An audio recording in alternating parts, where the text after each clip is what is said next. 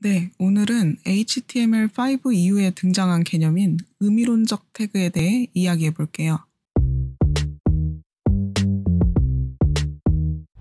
어, HTML5 이전에는 웹페이지를 만들고 레이아웃을 구성할 때 웹페이지의 상단 영역, 본문 영역, sidebar 영역, 그리고 하단 영역 등을 div 태그를 사용해서 표현했습니다.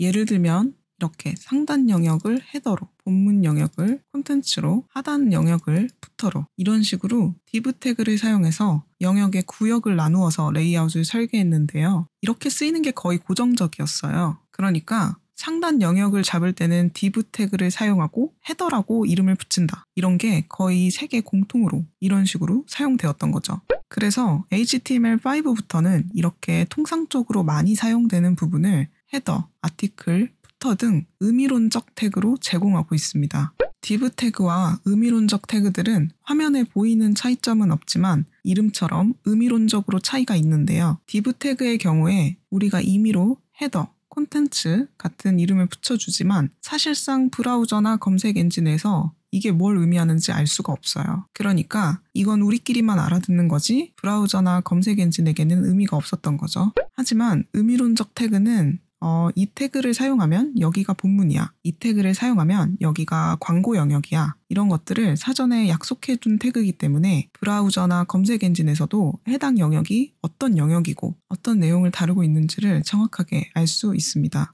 HTML5에서 제공하는 의미론적 태그의 종류에는 header, section, main, footer, article 등이 있는데요. 자주 사용되는 몇 가지를 예제를 통해서 한번 살펴볼게요. 먼저 샘플 문서를 하나 작성할 건데요. 여기 제목이 있고 동작하지는 않지만 임의로 만들어둔 웹페이지 메뉴가 있고요. 그 다음에 본문, 그리고 마지막으로 사이트 하단에 저작권을 표시하는 부분을 만들어 볼게요. 자, 여기에 의미론적 태그를 한번 적용해 볼게요. 먼저 웹 문서의 제목은 H 태그를 사용한 이 부분이겠죠. 이 부분은 header라는 의미론적 태그로 감싸줄 수 있습니다. 이렇게 하면 브라우저나 검색 엔진에서 이 부분이 문서의 제목임을 알 수 있는 거죠.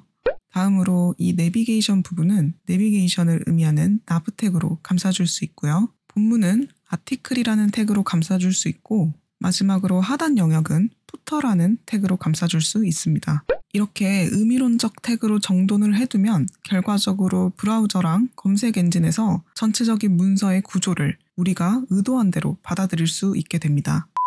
네, 오늘 준비한 수업은 여기까지고요. 다음 강의에서 뵐게요. 감사합니다.